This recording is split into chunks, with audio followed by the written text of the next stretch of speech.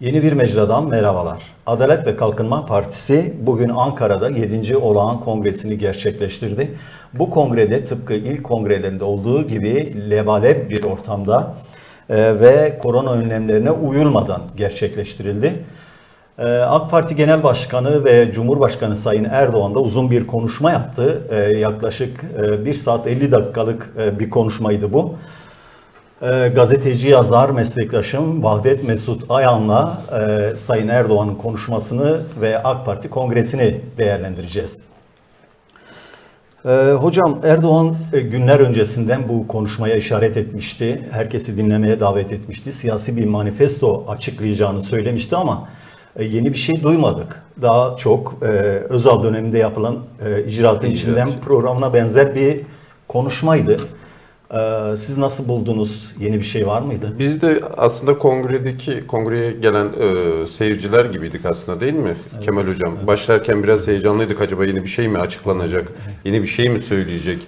E, bilmediğimiz bir şey ya da geleceğe yönelik bir şey mi söyleyecek? Ama bizim de kongredeki evet.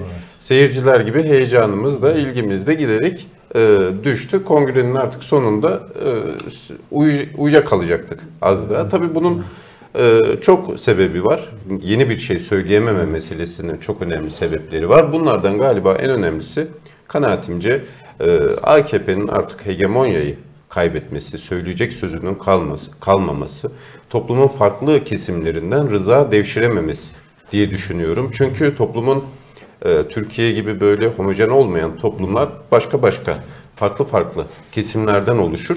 AKP özellikle son 5 yıldır, 6 yıldır toplumun sadece muhafazakar ve milliyetçi kesimine hitap ediyor. İşte e, radarında Aleviler yok, radarında Kürtler yok, radarında Roman vatandaşlar yok.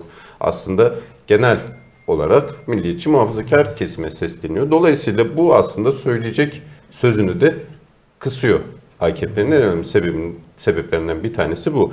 Diğeri zaten hegemonyayı kaybetmiş bir siyasal parti olması e, siyasal iktidarlar hem güç aygıtlarını elinde bulundurur hem de toplumun rızasını sağlayacak kültürel, ideolojik söylemlere sahip olurlar.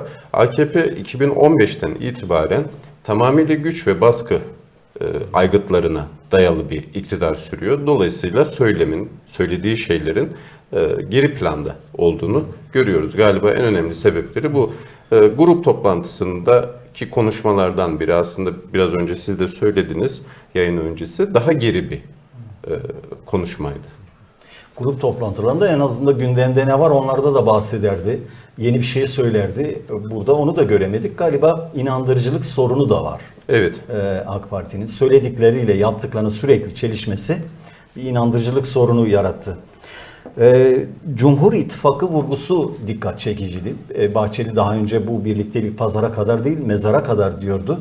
Sayın Cumhurbaşkanı da bugün bu birlikteliğin, Cumhur İttifakı birlikteliğinin 2053'e kadar 2053 e, devam 2071. edeceğini, 2071'e kadar devam edeceğini Daha söyledi. Daha çok işimiz var Kemal Hocam bizim. Evet. E, bu konuda ne düşünüyorsun? E, tabii Cumhur İttifakı'na vurgusu çok önemliydi. Geçtiğimiz günlerde MHP'nin de kongresi yapıldı. MHP'nin kongresinde de buna benzer söylemler vardı. Ama yine MHP'nin kongresi de AKP kongresi gibi heyecansızdı. Yani şeyden bahsetmiyorum. Ee, gelen izleyicilerin adeta böyle tribünde oturur gibi tezahürat yapmalarından bahsetmiyorum. Bir heyecan yok. Heyecanı yaratan şey aslında yeni şeyler söylemek. Topluma yeni adımlar e, atmasını sağlayacak şeyler söylemek. Bunların hiçbiri olmayınca da işte e, konuşmasında yine milliyetçi muhafazakar kesime seslenerek e, ne dedi? Tek tek devlet, millet, tek millet, tek vatan, tek, tek bayrak. E, bunu zaten epeydir söylüyor. Yani bunu söylemenin bir şeyi yok artık. Bugün farklı olan e, Rabia işareti eşliğinde bunlar hep söylenirdi. Erdoğan eliyle de Rabia işareti yapardı ama salonda bir işaret yapılsa da e, gerçi Hamza Dağ da zafer işareti e, yapmıştı.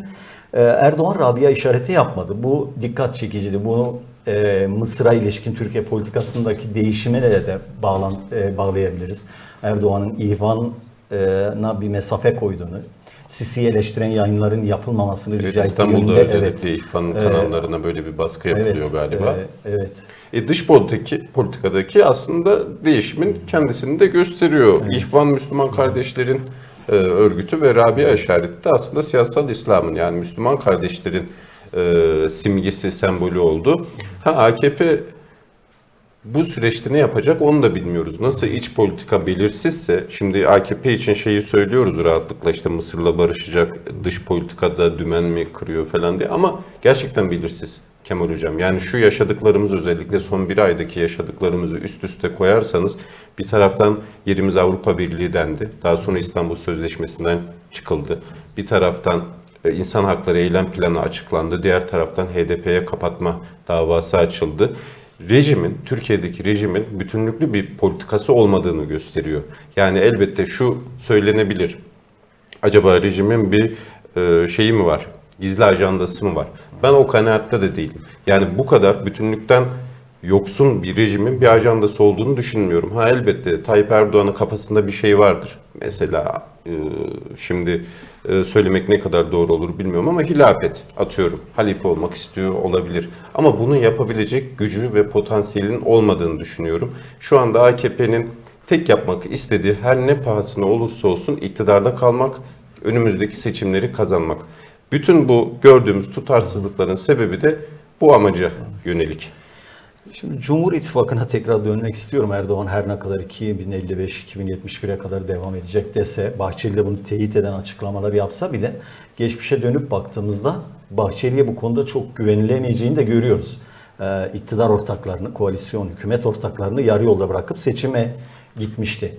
E, bu kez de böyle bir şey yapabilir mi sence E, Bahçeli? Muhtemeldir. Sonuçta aslında AKP biz 2002'de tek parti iktidarı 2021'e kadar işte e, tek parti olarak yönettiğini düşünüyoruz ama AKP aslında koalisyonlarla yönetti ülkeyi. Önceleri 2002-2012 yılları arasında cemaatle fiili bir koalisyon içindeydi. 2012, 2013, 2014 yıllarında tamamen ayrıldılar ve AKP yanına MHP'yi çekti. Bu koalisyonun zaten uzun süreceğini açıkça söylemek gerekirse düşünmüyorum. Bir yere kadar götürecektir. E, muhtemelen e, böyle bir tehlike var. Ama bunu Bahçeli mi yapar? Erdoğan mı yapar? Bunu bilemeyeceğim. Çünkü Erdoğan'ın da imkan bulduğu anda Milliyetçi Hareket Partisi'ni e, saf dışı edeceğini düşünüyorum. Şu an o imkan yok. İşte diyoruz ya iç politikada sıkışma, dış politikada sıkışma. E, Recep Tayyip Erdoğan'ın tek e, yanındaki siyasi parti Milliyetçi Hareket Partisi. Diğerlerini saymıyorum. Büyük Birlik Partisi'ni de bunun içine koyabiliriz. Vatan Partisi. Vatan Partisi'ni de koyabiliriz. E, Daha çok simgedir bu partiler Türkiye siyaseti Başkanlık için. sistemi getirilirken gerekçelerden biri de koalisyonlar dönemini kapatmaktı ama tam tersi oldu. Koalisyonlar dönemi kalıcılaştı artık. Hiçbir parti tek başına iktidar olamıyor bu sistemde. Evet. E, koalisyonlar biraz da zorunlu aslında. E zorunlu bir de şöyle bir ilginç bir şey çıktı ortaya. Eskiden seçim sonrası koalisyon olurdu. Şimdi seçime girmeden partiler koalisyon yapar duruma evet, geldi. tabii. Mesela Millet, İttifakı ya da Cumhur Sadece İttifakı. iktidar değil muhalefette de koalisyonlar Evet. oluşuyor yani. Muhalefette de koalisyonlar oluşuyor. Tabii bu koalisyonların arasında da ciddi farklar var. Mesela Milli, Millet İttifakı daha çok taktik bir ittifakken stratejik ittifak Cumhur İttifakı gibi gözüküyor. Ee, Erdoğan'ın yeni anayasa çağrısı oldu. Sivil ve yeni bir anayasa yapmaktan bahsetti ama geçtiğimiz aylarda ayda, Şubat ayında da böyle bir çağrı yaptı. Çok karşılık bulmayan bu çağrısını bir kez daha tekrarladı. Aslında burada da yine samimiyet sorunu var. Ee, geçtiğimiz yıllarda da mecliste 4 parti 66 madde üzerinde uzlaşmaya varmıştı. Ee, yeni bir anayasa yapılması konusunda toplumda bir umut da gerçekten doğmuştu ama o zaman da AKP ve MHP bu masadan çekilmişlerdi ve anayasa yapılamamıştı. Geçen ay yaptığı çağrıyı şimdi yeniden gündeme getirdi. Bunun anlamı ne? Ya aslında şey yok Ee, Kemal Hocam bir anlamı, bir manası çok da aslında rasyonelleştiremiyoruz işte bu rejimin kendi e, kimyasından ötürü o kadar belirsiz bir e, rejim ve o kadar belirsiz bir yönetim ki bu geleceğimizi de belirsizleştiriyor bir taraftan. E, muhtemelen e, dostlar alışverişte görsün derler ya Anadolu'da. Biraz öyle. Yeni anayasa yapacağım. Mesela 83 milyonun da katılacağı ya da 84 milyonun katılacağı bir anayasadan bahsederken bir taraftan tek millet demek ne demek? Yani nasıl yapacaksınız bunu? Ki tek millet, e, tek vatan, tek bayrak, tek devlet söylemi e, Türkiye toplumuna dayatılabilecek bir söylem değil. Yani bunun biz geçmişte 2. Dünya Savaşı döneminde görmüştük. Nasyonel sosyalistlerin e, sloganını da andıran bir slogandır bu. Onlarınki neydi? Tek halk, tek imparatorluk, tek lider. Şimdi yönetemezsiniz. Yönetsiniz de belli bir aşamaya kadar. Gelirsiniz bir de yeni anayasa, sivil anayasa e, diyorlar. Buna da tam katılmıyorum Kemal Hocam. Çünkü şu andaki rejim bir sivil, tam anlamıyla sivil bir rejim değil. Yarı askeri e, bir rejim. Ee, ekonomist Cumhurbaşkanımız ekonomik konulara da değindi. 2002'den günümüze ekonomide gelinen gelişmeleri anlattı.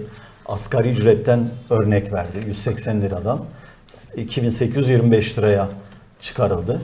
Asgari ücret ama e, gerçekten arttı mı? Yani rakam arttı ama alım gücü açısından gücü da açısından. E, arttı mı? O konuda bir hesaplaman Evet. vardı sanırım. Ee, Ondan bahseder. Beraber izlerken yapmıştık değil mi? Kemal Hocam hesaplamayı o anda oluştu. 2001 yılında 713 liraymış asgari ücret.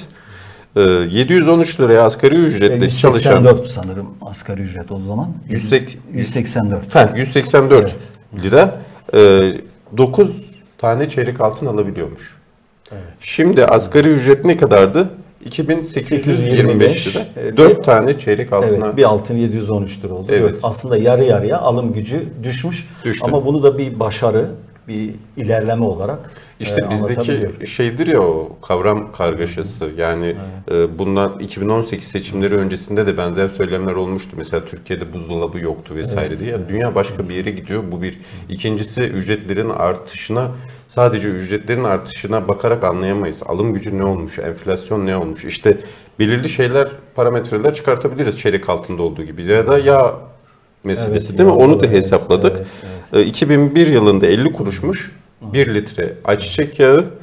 Asgari ücretli toplamda 368 litre yağ alabiliyormuş. Bugün ne kadar alabiliyor? Bugün 2021 15 liradan hesapladık iyimser. Ki evet daha 15 fazla lira tabii evet. değil 188 tane alıyor. O da yarı yarıya düşmüş. Demek Evet. ki alım gücü aslında yarı yarıya düştü. Düşmüş. Şeye benziyor biraz da Fikret Başkaya söyler onu Paradigmanın İflası kitabında. Her ilerleme gelişme değildir der. İlerleme gelişme için çevreye bakmak lazım. Başka dinamikleri e, gözetmek lazım der. Bizim de yapmamız gereken bu. Yani asgari ücret e, 184 lirayken işte şimdi 2000 küsür lira gelişme gibi gösteriliyor. Ama baktığımız zaman real politika yok öyle bir şey. Ee, Sayın Cumhurbaşkanı'nın bir de halka çağrısı vardı. Elinizdeki e, döviz ve altınları diğer finansal araçlara yatırın diye. Ama e, halkın da Sayın Erdoğan'dan cevap beklediği iki soru vardı. Birincisi Merkez Bankası'nın 128 milyar doları nerede? gitti? Kim bozdu, ne zaman? E, bu açıklanmadı. Yine Cuma günü Merkez Bankası Başkanı'nın istifasından önce 450 milyon dolar döviz alınmış ve bu e, döviz daha yüksek bir fiyata pazartesi günü satılmış. Bunu kim aldı, kim sattı? Buna da herhangi bir cevap verilmedi. Hiçbir şeye cevap verilmiyor aslında. Ee, şöyle ki e, ekonomi meselesinde mesela Cumhurbaşkanı dedi ki e, Türkiye'nin ekonomik altyapısı sağlam. Tamam. Türkiye'nin ekonomik altyapısı sağlam. Kabul edelim bunu. Peki ekonomik altyapısı sağlam olan bir ülkenin lideri vatandaşına yastığınızın altındaki dövizi, altını finansa aktarın diyebilir mi? Deniz buna gerek duymaz Gerek yani. duymaz. Nereden baksanız aslında e, Erdoğan'ın konuşması tutarsızlıkların e, ve çaresizliklerin aslında. Halka bu çağrı yapılıyor ama hazineden garantili yatırımlarda da dövizde endeksli. Yani döviz fiyatı arttıkça o müteahhitler gelirlerini sürekli artırıyorlar. Artırıyorlar müteahhitlerin cebine gidiyor. Şimdi Şimdi cebimizden çıkıp müteahhitlerin Evet, cebine giriyor. aynen öyle. Mesela şeyler konuşuldu değil mi yine kongrede? Otoyolları, Evet. e, havalimanları, köprüler vesaire vesaire. E, ben, siz de öyle. Şimdi hiç geçmediğiniz köprünün ücretini ödüyoruz. Kimin yararına? Belirli bir müteahhit e, oligarşisi var. O onların yanına gidiyor bu, cebine gidiyor e, para. Evet. E, millet iradesi bu Evet, çok 2002'den önemliydi beri çok fazla e, dillendirdikleri bir ifade. Bu kongrede de yine bahsetti. Bu konuda neler söylersin? Yani ne demişti ben sözünü söyleyeyim. AKP milli iradenin üstünlüğünü tam manasıyla tesis ederek demokrasiyi güçlendirdi demiş Erdoğan. E benim aklıma kayyum politikaları geliyor. En son Gergerlioğlu örneği var. Gergerlioğlu. 90 bin oyla seçilip gelmişti. e, haksız ve hukuksuz bir biçimde vekilliği düşürüldü. Yasalara, anayasaya da aykırı bir biçimde. Şimdi birkaç gün sonra cezaevine girecek. Elbette. E, Gergerlioğlu'nu söyleyebiliriz, kayın politikasını söyleyebiliriz. Oradan e, gelelim İstanbul'a Boğaziçi Üniversitesi'ne atanan rektörü söyleyebiliriz. Yani e, sistem bu kadar merkezileşirken milli iradeden bahsetmek abes. Ha bir milli irade var. Şu nasıl Erdoğan ve Bahçeli'nin kendi milleti varsa sonuçta 83 milyon dediği zaman aslında bizi kapsamıyor. Kendi kafalarındaki e, çerçeve içindeki milletten bahsediyor. Milli irade bu aslında. Milli irade de bu. Yani benim milli iradem. Evet. Oylar Kemal Hocam'a gidermiş, Mesut'a gidermiş. Bunlar sayılmıyor. Evet. Bir de dış politikaya ilişkin dostlarımızı çoğaltacağız dedi. Geçmişte de e, sıfır, Sıfır sorun sorun, politikası var. evet. Dostlar sıfırlandı. Dost- Düşmanlar arttı. Şimdi dostlarımızı çoğaltacağız diyorlar. Nasıl çoğaltacaklar? Vallahi bilmiyorum ona dair bir politika var mı? İşte eğer mesele Rabia işaretini yapmamaktan başladıysa çok yavaş ilerleyecek bu mesele. Ee, Ahmet Davutoğlu'ydu galiba değil mi? Dost sıfır Evet, sorun. Ee, geldiğimiz noktada Körfez'e bakalım. Suudi Arabistan'la aramız bozuk. Birleşik Arap Emirlikleri ile aramız bozuk. O bölgede sadece Katar'la aramız iyi. Bütün komşularla E bozuk. tabi İran'la gerilimli bir ilişkimiz var. Suriye ile gerilimli. Irak'la Kürt meselesi üzerinden sürekli kapışıyoruz. Ee, Yunanistan'ı ele alalım. Doğu Akdeniz meselesi var. Ermenistan. Ermenistan var. Hakeza. Gerçekten öngörülemez ve bilinmez bir siyaset. Hem iç politika hem dış politika. Yani biz izlerken e, çok rasyonelleştirmeye çalışıyoruz meseleleri ama rasyonelleştirecek bir şey çıkmadı bu kongrede. Açıkça söylemek gerekirse. Kongredeki değişikliklerden biri de tüzük değiştirilerek iki genel başkan vekilliğine geçilmesi. Birdi. iki. Erdoğan'a çok fazla eleştiri vardı. Yani hem e, Genel parti başkan. işleri, genel başkanlığı yürütmesi hem cumhurbaşkanlığını. Bu şu anlama mı geliyor? Erdoğan parti işlerini daha çok bu vekillere bırakıp ağırlıklı olarak cumhurbaşkanlığını yürütecek. Onu zannetmiyorum. Ee, Çünkü Erdoğan AKP'den elini çekse, biraz elini çekse parti aslında dağılmaya başlar. Çünkü odak odak e, çekişmeleri olduğunu biliyoruz mesela Metin Külünk ile işte Süleyman Soylu arasında gibi. E, Muhtemelen dağılmayı önlemek için kadroyu genişletiyor Erdoğan. Mesela Binali Yıldırım'ı alabilir ya da başka isimleri tekrar Numan çekip Kurtulmuş Numan Kurtulmuş alabilir. Muhtemel dağılmanın önüne geçmek için aslında e, sayıyı çoğaltıyor, yayıyor. Bunun dışında ben e, tarafsızlık yemin ettim. Ben artık sadece Türkiye Cumhuriyeti'nin 12. Cumhurbaşkanıyım. AKP Genel Başkanlığını bırakıyorum demez diyecek zihniyeti de olduğunu düşünmüyorum ben Erdoğan. Ben de aynı fikirdeyim.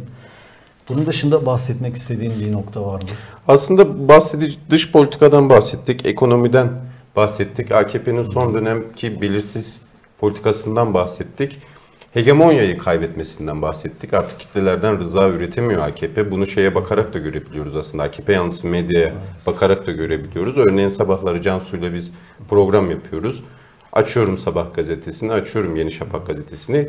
Hiçbir şey yok. AKP kongresi de aslında tam olarak böyleydi Kemal Hocam. Yani dişe dokunur, hiçbir şeyin işlenmediği, tamamıyla biz gelmeden önce şöyleydi, biz geldik. Böyle oldu, iyi oldu ama geleceğe yönelik hiçbir şeyin söylenmediği bir kongre oldu. E, adeta yaptıklarımız yapacaklarımızın garantisidir. Garantisi. Bir şey söylemiyoruz ama geçmişimize bakarak Evet. tahmin edin siz. O da çarpıtılarak açıklanan şey gerçekler. İşte post-truth çağı deniyor ya, hakikat sonrası. E, Burada biraz önce söyledik 2002-2021 verilerini. Yani tamam sen söylüyorsun ama mesele öyle değil. Yani o kendi tarihini de çarpıtarak e, anlatıyor. Bu kadar herhalde. Evet benim aldığım notlar bu kadar. Sizin eklemek Benim de istediğiniz yok. bir şey varsa. Burada programı bitirelim Tamam. o zaman. Mes Vaadet Mesut Ayan'la birlikte AK Parti kongresini ve Cumhurbaşkanı Sayın Erdoğan'ın konuşmasını değerlendirdik. Hoşçakalın.